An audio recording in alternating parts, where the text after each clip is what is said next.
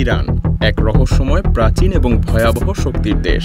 পৃথিবীর বুকে কয়েক হাজার বছর ধরে টিকে থাকা অন্যতম প্রাচীন সভ্যতা। আজ থেকে প্রায় পাঁচশো বছর আগেও এই দেশটা বিশ্বের মানচিত্রে ছিল। একই সীমান্ত, একই পাহাড় এবং একই মরুভূমি নিয়ে। অথচ এই শতাব্দীগুলোতে একের পর এক সুপার পাওয়ার তাদের সর্বশক্তি দিয়ে চেষ্টা করেছে ইরানকে দখল করতে। কিন্তু ইরান ছিল অদম্য, অজেয়, এক লৌহ বেষ্টিত দুর্গের মতো, যার দরজা ভাঙতে ব্যর্থ হয়েছে বিশ্বের পরাক্রমশালী সাম্রাজ্যগুলো। রোমান সাম্রাজ্য থেকে শুরু করে আরব, মঙ্গল, তুর্কি, রুশ, এমনকি ব্রিটেন সবাই ইরানকে পদানত করতে এসেছিল, কিন্তু কেউই পুরোপুরিভাবে সফল হতে পারেনি। ইরানকে ধ্বংস করতে আসলে কেন ইসরায়েল এবং আমেরিকার নিজেদেরই ধ্বংস হয়ে যাওয়ার চান্স আছে? এই প্রশ্নের উত্তর খুঁজতে আমাদের প্রবেশ করতে হবে ইরানের এক অজানা অধ্যায়ে। সঙ্গে থাকুন, কারণ আপনার সামনে উন্মোচিত হতে চলেছে এক শিহরণ জাগানো অধ্যায়, যেখানে প্রতিটা ক্ষণে রহস্যের পর্দা ছিন্ন করে বেরিয়ে আসবে ইরানের ভয়ঙ্কর শক্তির রহস্যময় গোপন কাহিনী। যা হিম করবে আপনার রক্ত আর চোখের পলকে পাল্টে দেবে আপনার বাস্তবতার সব জানা সত্য। ইরান পৃথিবীর ক্রসরোডে দাঁড়িয়ে আছে ঠিক তিন মহাদেশের সংযোগস্থলে, এশিয়া ইউরোপ, আফ্রিকা। এ কারণেই ইরান যুগে যুগে আগ্রাসী শক্তির চোখের কাটা ছিল। কিন্তু আজকের ইরান কীভাবে এত শক্তিশালী হলো? কীভাবে এটা এত ভয়ঙ্কর প্রতিরোধ গড়ে তুলল? যা বিশ্বের সবচাইতে শক্তিশালী দেশগুলোর স্নায়ুও ঠান্ডা করে দেয়। এই দেশটার আজ সাতটা দেশের সঙ্গে সীমান্ত আছে। পূর্ব দিক থেকে পাকিস্তান, আফগানিস্তান, তুর্কমেনিস্তান আর পশ্চিমে ইরাক। তুরস্ক, আর্মেনিয়া এবং আজারবাইজান। কিন্তু শুধু স্থল সীমান্তই না, ইরান সাগরের সঙ্গেও গভীর সম্পর্ক রাখে। উত্তরে ক্যাসপিয়ান সাগর আর দক্ষিণে আছে পারস্য উপসাগর এবং ওমানের উপসাগর। ইরানের সবচাইতে ভয়ঙ্কর ক্ষমতার কেন্দ্রবিন্দু হল স্ট্রেইট অফ হারমোস, বিশ্বের সবচাইতে গুরুত্বপূর্ণ এবং বিপজ্জনক সাগর পথ পৃথিবীর বিশ শতাংশ তেল এবং গ্যাসের সরবরাহ এই পয়েন্ট দিয়েই অতিক্রম করে, যা ইরানকে এক দানবীয় ভূরাজনৈতিক শক্তিতে পরিণত করেছে। ইসরায়েল এবং পশ্চিমা বিশ্ব আজ ইরানকে এক অপ্রতিরোধ শক্তি হিসেবে দেখে। কেন এত শক্তিশালী সামরিক এবং অর্থনৈতিক ক্ষমতা থাকা সত্ত্বেও আজ অবধি কেউ ইরানকে দখল করতে পারেনি। ইরানের অপ্রতিরোধ হয়ে ওঠার কারণগুলোর মধ্যে অন্যতম একটা কারণ হলো এর ভৌগোলিক প্রতিরোধ ব্যবস্থা। ইরানের দক্ষিণ এবং পশ্চিমে আছে বিশাল জাগ্রস পর্বতমালা। এই পাহাড়ের শৃঙ্গগুলো যেন প্রকৃতির দুর্গের মতো, যা ইরানের দিকে কেউ এগিয়ে আসতে গেলে তাদের পথ আগলে দাঁড়ায়। পাথর আর খাজে ভরা এই পাহাড়গুলোকে পেরোনো, বিশেষ করে সৈন্য এবং সামরিক সরঞ্জাম নিয়ে প্রায় অসম্ভব। এই পাহাড়গুলো ছিল ইরানের রক্ষা কবচ। যেমন উনিশশো আশি সালে যখন ইরাক ইরান আক্রমণ করে, তখন ইরাকের পরিকল্পনা ছিল ইরানের বিপ্লবকে ধ্বংস করা এবং তাদের ভূখণ্ড দখল করা। কিন্তু তারা জাগ্রসের এই কঠোর পাহাড়ে থেমে যায়। দুই বছর ধরে যুদ্ধের পরেও তারা শুধুমাত্র ইরানের দক্ষিণ পশ্চিমের খুজেস্তান অঞ্চলেই প্রবেশ করতে পেরেছিল। আরও দূরে এগোনোর তারা চেষ্টা করলেও জাগ্রস পাহাড় তাদেরকে প্রতিরোধ করেছিল। ইরাকের সেনাবাহিনীর ইরানিদের কাছে যাওয়া প্রায় অসম্ভব হয়ে পড়ে, কারণ তাদের বড় বড় সামরিক কেন্দ্র এবং শহরগুলো পর্বতমালার ঠিক বিপরীত প্রান্তেই ছিল।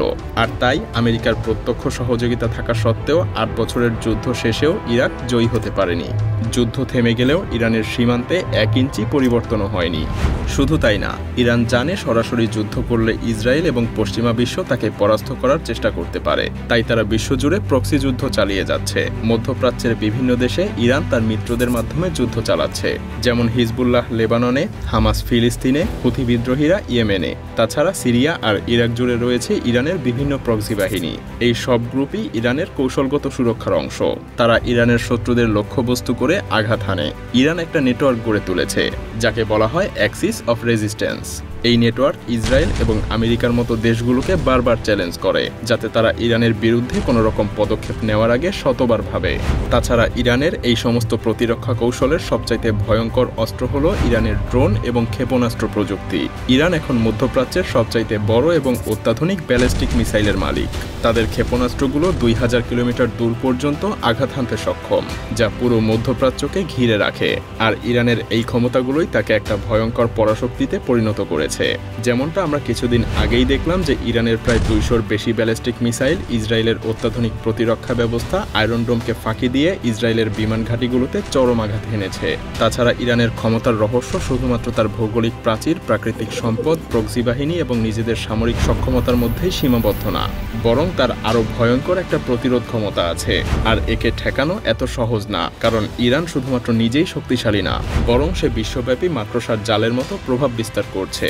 আপনি যদি মনে করেন ইরানকে কেবল তার সীমান্তের মধ্যেই বন্দী করে রাখা সম্ভব, তবে আপনি ভুল করবেন, কারণ ইরানের হাত শুধুমাত্র তার পাহাড় বা মরুভূমিতেই সীমাবদ্ধ না, তার প্রভাব উত্তরের রাশিয়া থেকে পূর্বের চীন পর্যন্ত বিস্তৃত। রাশিয়া এবং চীন এখন ইরানের সঙ্গে শক্তিশালী মিত্রতা গড়ে তুলেছে, আর এই মিত্রতা ইরানকে আরও অদম্য এবং দুর্ভেদ্য করে তুলেছে। এটা এখন আর এককভাবে কোনো দেশের শক্তি না। বরং বলা যায়, এটা এক সামরিক জোট। যা পৃথিবীর ক্ষমতার ভারসাম্যকে বদলে দিতে পারে। তাছাড়া হরমুজ প্রণালী, যেটাকে বিশ্বের অর্থনীতির হৃৎপিণ্ড বলা হয়, ঠিক এই পয়েন্ট থেকে ইরান যে কোনো মুহূর্তে পুরো বিশ্বজুড়ে তেল সরবরাহ বন্ধ করে দিতে পারে। ফলে তখন পুরো পৃথিবী জুড়ে অন্ধকার নেমে আসবে। অবশ্য যে দেশগুলো আজ ইরানের সঙ্গে দ্বন্দ্বে লিপ্ত হতে চায়, তারা ভালো করেই জানে ইরানকে আক্রমণ করা মানে আগুন নিয়ে খেলা। একবার আগুন ছড়িয়ে গেলে সেই আগুনে দগ্ধ হবে পুরো মধ্যপ্রাচ্য, ইসরায়েল, এমনকি পশ্চিমা বিশ্ব। ইরানের শক্তির আরেকটা বড় অংশ হলো তার অজানা এলাকা বা গ্রে এরিয়া। ইরানের পারমাণবিক কর্মসূচি থেকে শুরু করে তার গোপন প্রক্সি নেটওয়ার্ক কোনো কিছুই সম্পূর্ণভাবে প্রকাশিত না। বিশ্ব জানে ইরান অন্ধকারের মধ্যে বসেই পরিকল্পনা করে। তার সামরিক এবং রাজনৈতিক কৌশলগুলো ধোয়াশাচ্ছন্ন। ঠিক কতটা বিপজ্জনক, কতটা শক্তিশালী, সেই প্রশ্নের উত্তর আজও পরিষ্কার না। আর এই অনিশ্চয়তাই ইরানকে আরও ভয়ঙ্কর করে তুলেছে। এখন প্রশ্ন হলো, ইরান কি শেষ পর্যন্ত অপরাজয়ই থেকে যাবে? অথবা ইসরায়েল এবং পশ্চিমা বিশ্ব কোনো না কোনোভাবে তাদেরকে দমিয়ে রাখতে সক্ষম হবে। ইরান কি তার আগুনের শক্তি দিয়ে ইসরায়েলকে এক জ্বলন্ত যুদ্ধক্ষেত্রে পরিণত করবে, নাকি তার ক্ষমতার মেঘে অন্ধকারে ডুবে যাবে? এসব প্রশ্নের উত্তর লুকিয়ে আছে ভবিষ্যতের অন্ধকারে। তবে এখন পর্যন্ত ইরান যে অবস্থানে আছে, এই অবস্থান যদি টিকিয়ে রাখতে পারে, তাহলে পৃথিবীর কোনো শক্তি নেই যে ইরানকে জয় করতে পারে। যেমনটা পৃথিবীর ইতিহাসে আগেও কখনো ঘটেনি।